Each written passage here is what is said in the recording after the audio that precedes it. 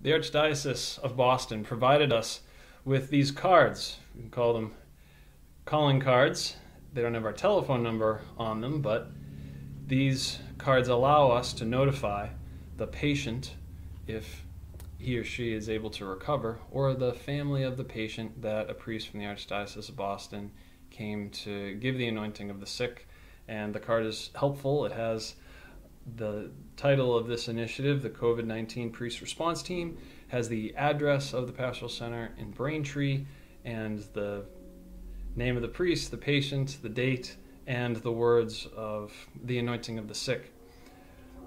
So when we go, we can leave the card outside of the room. If we leave it inside the room, it will likely be thrown away, but we can leave it at the, the nurse's desk to give to the family. And the most people that I've ever anointed in one shot was 21, so I was filling out this card 21 times.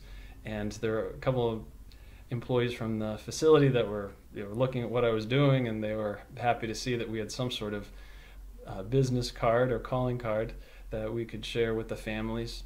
And it's an important way for, for them to know that in this time where they were not able to be with their loved one, that even for a brief visit, a priest was able to be there.